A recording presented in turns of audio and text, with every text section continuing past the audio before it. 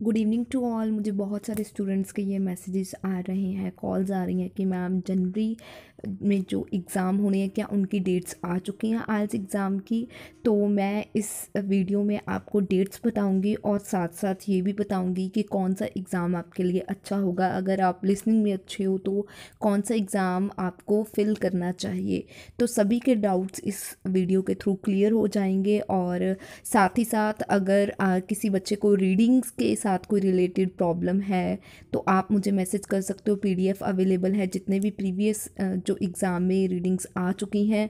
और साथ ही साथ अगर हम आपकी हेल्प कर रहे हैं तो प्लीज़ आपका भी फ़र्ज़ बनता है कि को कि आप मेरे चैनल को ज़्यादा से ज़्यादा लाइक शेयर और सब्सक्राइब कीजिएगा। और अगर किसी को प्रॉब्लम है तो आप मुझे कॉल कर सकते हो और साथ ही साथ इंस्टाग्राम पे फॉलो करो। सो so, फ़र्स्ट जो डेट्स बनती हैं जनवरी मंथ में वो बनती हैं एट जनवरी 2022 तो उस दिन जो एग्ज़ाम है वो है अकेडमिक और जनरल दोनों का।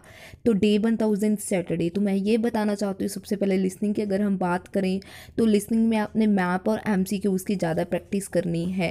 क्योंकि आ, हो सकता है कि आपको जो मैप और एम सी क्यू ज़्यादा आए। ठीक है, क्योंकि जो भी, जब भी नया साल आता है तो कुछ ना कुछ पैटर्न जो है लिसनिंग में, वो चेंज कर दिए जाते हैं। तो इसलिए आपने इन दोनों चीज़ों पे ज़्यादा वर्क करना है, जिन बच्चों ने एग्ज़ाम देना आठ जनवरी को। तो नेक्स्ट हम बात करते हैं रीडिंग की। तो जो रीडिंग आएगी, वो आएगी मॉडरेट लेवल की। मॉडरेट का मतलब है कि आपने इसमें फिलअप्स आने के चांसेस हैं जिन बच्चों ने एग्ज़ाम देना और साथ ही साथ लिस्ट ऑफ़ हेडिंग्स पे आपने अच्छे से ध्यान देना है, क्योंकि वो भी आ सकते हैं।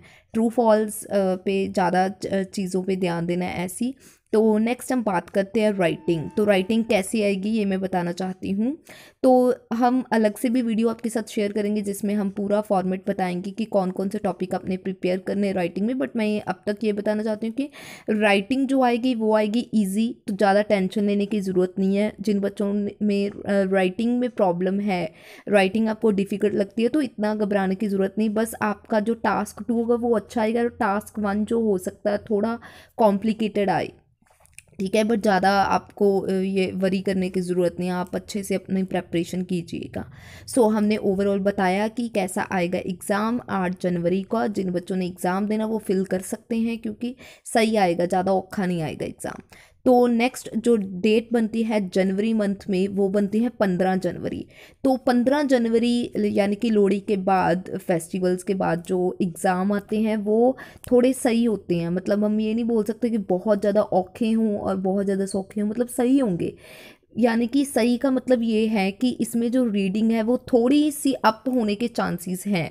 रीडिंग क्योंकि इसमें ब्लैंक्स आने के कम चांसेस है क्योंकि मोस्टली ब्लैंक्स जो बच्चों को अच्छे लगते हैं इजी लगते हैं, लेकिन इसमें ब्लैंक्स आने के कम चांसेस हैं।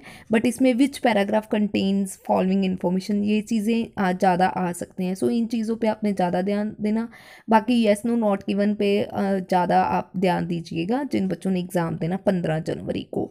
तो नेक्स्ट हम बात करते हैं राइटिंग की तो अगर हम राइटिंग की बात करें तो राइटिंग में आपने जैसे गवर्नमेंट के साथ रिलेटेड कोई स्टेटमेंट आपसे पूछी जा सकती है एग्ज़ाम में और साथ ही साथ बाकी हम टॉपिक आपको शेयर करेंगे करेंगे पाँच छः टॉपिक जो बहुत ज़्यादा इंपॉर्टेंट है टेक्नोलॉजी हो गया साइंस हो गया, है ना? साथ ही साथ कोई जॉब्स एम्प्लॉयमेंट के साथ रिलेटेड ऐसे टॉपिक्स आपको एग्ज़ाम में पूछे जा सकते हैं। सो जिन बच्चों ने एग्ज़ाम देना पंद्रह जनवरी को तो वो अपनी प्रेपरेशन ज़रूर रखिएगा और रीडिंग पे थोड़ा ज़्यादा ध्यान दीजिएगा। बाकी दोनों चीज़ें आपको सही आएँगी।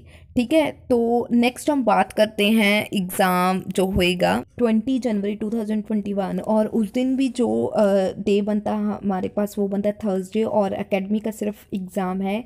जनरल वालों को मौका नहीं मिलेगा उस दिन एग्ज़ाम देने का।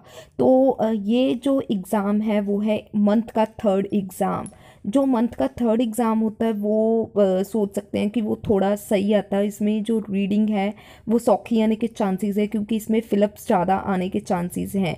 तो साथ ही साथ आपने जो ध्यान देना, वो देना, जैसे राइटर्स नेम आते हैं, है ना?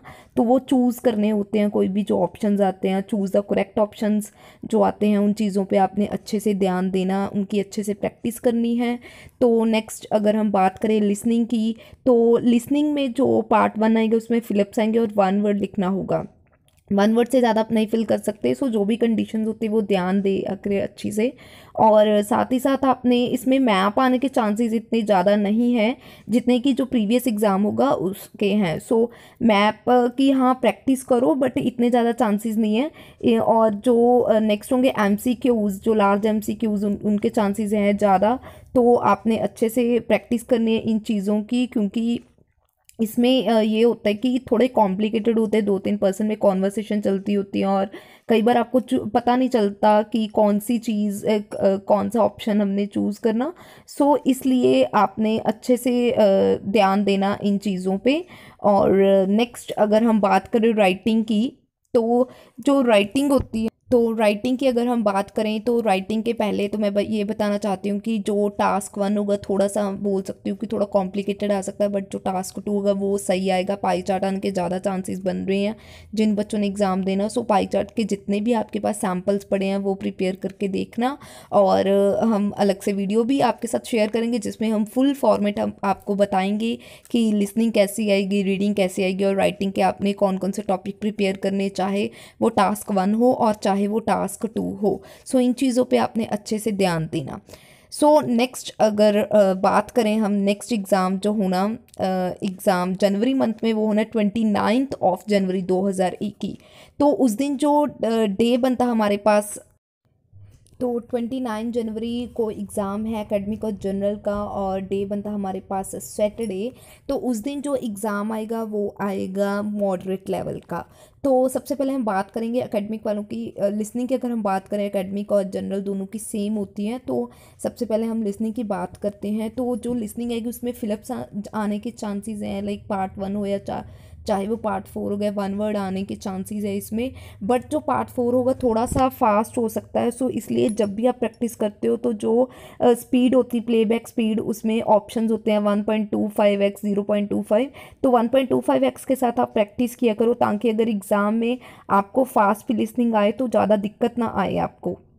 तो इसलिए जिन बच्चों ने एग्ज़ाम देना लास्ट एग्ज़ाम जनवरी मंथ में तो आपको लिसनिंग में ज़्यादा प्रैक्टिस करने की ज़रूरत है। तो नेक्स्ट हम बात करते हैं रीडिंग की। तो सबसे पहले एकेडमिक वालों की बात करेंगे। तो इसमें भी जो रीडिंग है, वो सही आएगी। मतलब ना ही ज़्यादा औखी आएगी, ना ही ज़्यादा सौखी आएगी मॉडरेट लेवल आएगा। सो ज़्यादा अगर यूजुअली आपके सिक्स बैंड्स आ रहे हैं, या सिक्स प्लस आ रहे हैं तो इतनी दिक्कत नहीं आएगी आपको। आपके सिक्स बैंड्स आएँगे अच्छे से। और हम टॉपिक्स भी आपको बताएँगे रीडिंग के कि कौन कौन से टॉपिक आने के चांसेस हैं कि पैराग्राफ वन कौन कौन सी चीज़ें आ सकती हैं और ट्रू फॉल्स नॉट की वन पे आपने ज़्यादा ध्यान देना अगर जिन बच्चों ने एग्ज़ाम और समरी आने के चांसेस हैं इसमें। तो नेक्स्ट अगर हम बात करें जनरल वालों की तो जनरल वाले बच्चे भी लिस्ट ऑफ़ हेडिंग्स पे ज़्यादा ध्यान दें, क्योंकि थोड़ी दिक्कत आ सकती है और जो उनको फिलअप्स आएँगे, वो आएँगे no more than three word three word से ज़्यादा नहीं फिल कर सकते। सो जो थ्री वर्ड्स के होते हैं, वो थोड़े कॉम्प्लिकेटेड हो सकते हैं। सो इसलिए आप अच्छे से इनकी प्रैक्टिस करना। तो नेक्स्ट अगर हम बात करें नेक्स्ट मॉड्यूल यानी कि राइटिंग बात करें टास्क वन की अकेडमिक वालों के लिए तो हमारे पास बाहर आने के चांसेस है तो सो सो इजी आएगा इसमें, ज़्यादा नहीं प्रॉब्लम आएगी आपको। तो अगर हम बात करें नेक्स्ट जो टास्क टू है तो उसमें कल्चर एंड हिस्ट्री के साथ कुछ भी पूछा जा सकता है एग्ज़ाम में। तो हाँ मैं अलग से आपको टॉपिक भी बताऊँगी कि कौन कौन से प्रिपेयर करने एग्ज़ाम के लिए। तो नेक्स्ट अगर हम जनरल वालों की बात करें टास्क वन की तो सेमी फॉर्मल लेटर्स आ सकती है आपको। जैसे कि पिछले एग्ज़ाम में आई थी तेईस जनवरी में सेमी फॉर्मल लेटर आई थी आपको तो सेमी फॉर्मल लेटर आ सकती है जिन बच्चों ने एग्ज़ाम देना है उनतीस जनवरी को।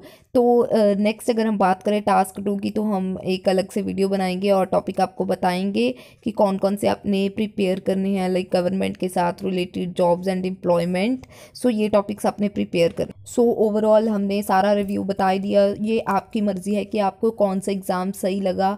तो ये जो मैंने प्रडिक्शन दी है, ये मैंने अपने अकॉर्डिंग दी है। प्लीज़ फिर आप बाद में मत बोलना कि नहीं मैम ने ये बोला था, ये मैंने अपने अकॉर्डिंग की है प्रडिक्शन तो पहले भी जितनी भी प्रिडिक्ट किया मैंने एग्ज़ाम वो बिल्कुल सही आया आप पिछली प्रडिक्शन भी देख सकते हो, जब भी आप एग्ज़ाम दे के आते हो तो हर चीज़ मेरी प्रडिक्शन के अकॉर्डिंग ही आई है। सो आपने एग्ज़ाम फिल करना जो भी आपको सही लगता होगा। बाकी थैंक यू सो मच